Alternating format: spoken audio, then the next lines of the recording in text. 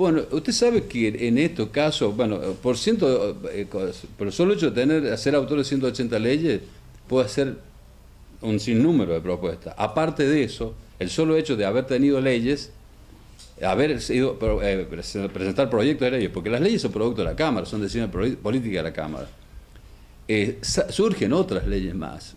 Por ejemplo, la preocupación que hoy por hoy que se ha bancarizado todos los sueldos de toda la administración pública, de los jubilados y de todo, eh, surge el problema, por ejemplo, que no tenemos un buen servicio de, cajeros automáticos, menos en el interior.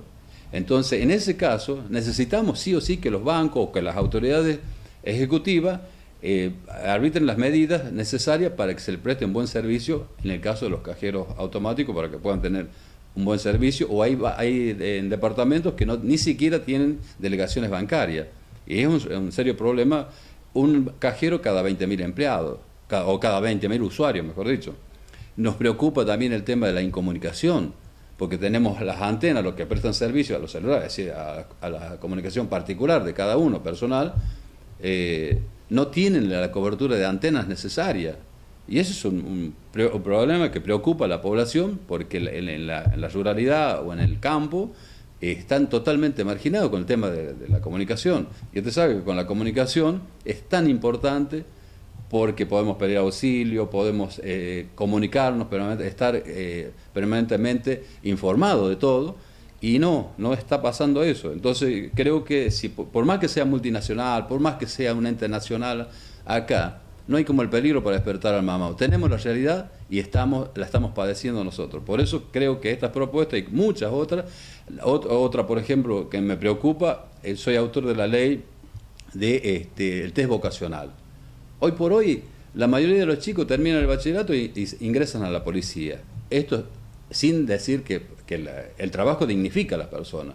Pero en ese caso, todos van a buscar el, eh, un sueldo de la manera más rápida y ágil, pero se pierden grandes profesionales, grandes científicos, este, quizás presidentes, gobernadores, que eh, ingresan a una carrera rápida por la situación económica que, se vive, por no hacer el test vocacional. Y se puede hacer a través de Internet para todo, que se llega a todo. Eh, principalmente lo que estaba diciendo el compañero, de, de los discapacitados. Y bueno, y de ahí hay otra ley que tiene también él, de, por el ejemplo de los, ¿cómo se llama? De los estudiantes, de los chicos, por ejemplo, que están dedicados al, para atender a los chicos discapacitados, que están haciendo la carrera, cuando ya esté por terminar, antes de terminar, ya puede estar eh, empezando a trabajar ellos, ya, teniendo una cobertura, ya. No estar esperando ellos que se reciban para recién buscar el cuenta de trabajo. trabajo social. Exacto. Exacto, eso principalmente. plano, digamos, de discapacidad hay poca contención, ¿cómo lo ven ustedes? Para mí, muy poco. ¿Y en muy el interior? Peor. Casi nada. Yo, yo siempre voy a las charlas que hacen discapacidad de la provincia. Y siempre yo eh, inculco en el tema de que me digan si tienen ellos registrados los discapacitados que hay. Ellos me dicen que sí, pero no, no te dicen cuánto ni cuánto. Antes, por ejemplo, se, pues, teníamos una huerta antes había una huerta, se daba, ahora ya no, ya no nada que ver. Yo antes sabía trabajar, sabía hacer, hacer las máquinas de hacer trapo de piso en Aymogasta.